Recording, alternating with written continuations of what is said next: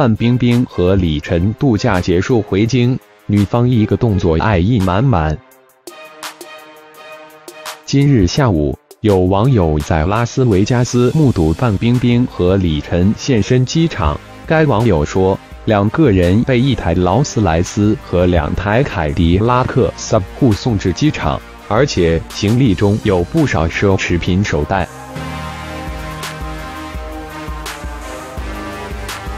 看来两个人已经结束三周年度假，要启程回到北京了。在视频截图中，可以看到李晨戴着一顶棒球帽和一副黑色大口罩，而范冰冰戴着宽边帽子和一副黑色墨镜。两个人周围确实堆满了行李，而且旁边还有一位助理。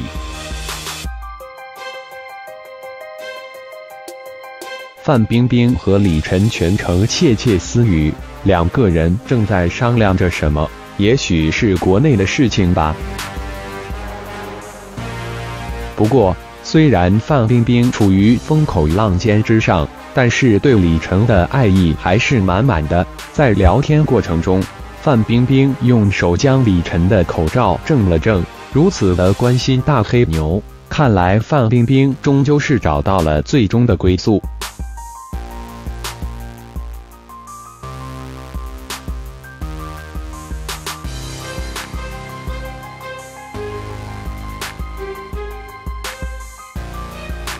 范冰冰和李晨在五月二十九日，两人恋爱三周年的时候出发去了美国拉斯维加斯度假。彼时被坊间猜测是去那里顺道拍摄婚纱照，毕竟两个人已经到了谈婚论嫁的阶段。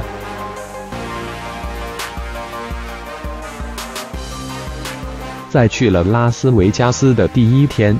范冰冰还去迪林奇翁的演唱会看了表演，并且在后台和欧美歌坛天后席琳迪翁合了影。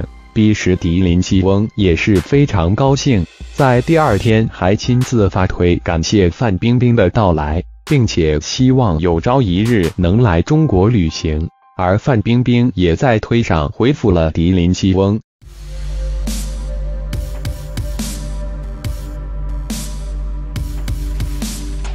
彼时，范冰冰与迪林奇翁合影时，脖子上的心形碎钻项链非常耀眼，让坊间的很多人猜测是李晨送的恋爱三周年礼物。记得李晨曾经给自己的前任女友们都送心形石头，而到了范冰冰这里，就是心形碎钻了，这区别对待可见一斑。目前，范冰冰正处于风口浪尖之上，因为崔永元那一边不依不饶的炮轰，从而导致阴阳合同被披露，并且已经引起了官方的注意。